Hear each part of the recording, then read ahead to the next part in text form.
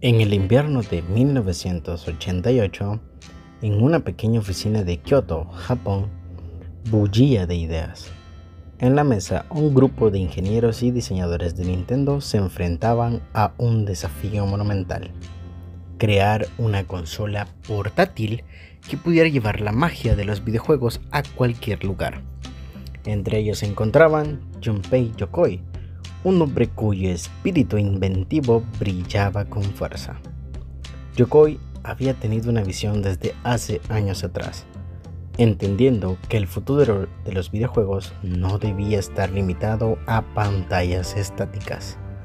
La idea inicial surgió de un juguete que Yokoi había diseñado previamente, un juego de mano mecánico que divertía a los niños sin depender de la tecnología avanzada.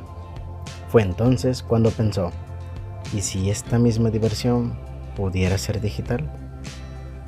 Con ese pensamiento comenzó a trazar un concepto que cambiaría el mundo del entretenimiento para siempre. These challenges to both my company and our industry are considerable. But I stand before you today with a Of course, I want you to know that we understand the challenges.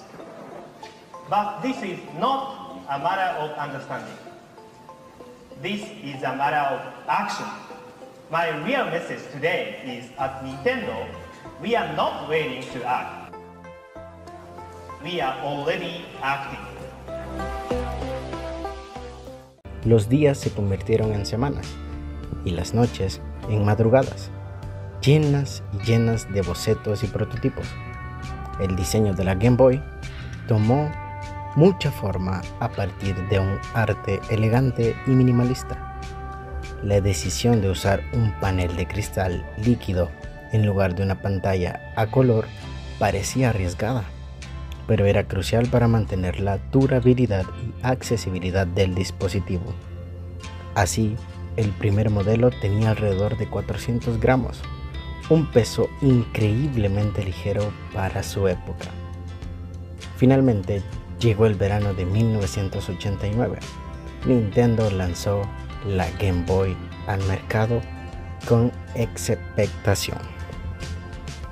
Las tiendas estaban adornadas con carteles vibrantes, prometiendo horas de diversión en un pequeño dispositivo que podía sostener con una mano la primera partida de Tetris, un juego que se convirtió en sinónimo de la consola, capturó la atención de millones. Las personas jóvenes y adultas encontraron en aquel cuadrado gris un refugio ante la realidad. Las reacciones fueron instantáneas en los autobuses, trenes y parques. Familias y amigos se reunían para competir en las partidas rápidas. Los rostros se iluminaban con cada línea eliminada y cada nivel superado. La Game Boy no solo proporcionó entretenimiento, sino que forjó conexiones humanas. Se convirtieron en el puente a nuevas amistades y en vehículo de risas compartidas. Sin embargo, no todo fue un camino de rosas.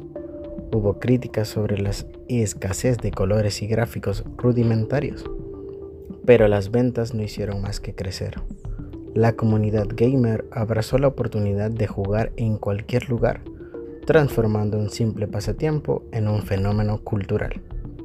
La portabilidad de la Game Boy invitó a la gente a descubrir el juego en espacios públicos y privados, convirtiéndola en un icono de la década. A medida que pasaban los años, los seguidores de la consola se multiplicaban en cada esquina del mundo, generaciones crecieron jugando títulos que definieron su infancia. La Game Boy sentó las bases para un futuro en el que los videojuegos serían parte integral de la vida cotidiana. Y así, aquel pequeño dispositivo, nacido de la creatividad y perseverancia de un equipo apasionado, dejó una huella indeleble en la historia. Al mirar hacia atrás, uno puede ver cómo el latido de la Game Boy resonó en los corazones de millones, demostrando que a veces los sueños son más sencillos que los que cambian al mundo. Y esto fue más o menos la historia del Game Boy a grosso modo. Ya saben que si les gusta este tipo de historias o este tipo de contenido, me lo pueden hacer saber con un comentario, dejando un like y por supuesto suscribiéndose. Nos vemos en el próximo video. Adiós.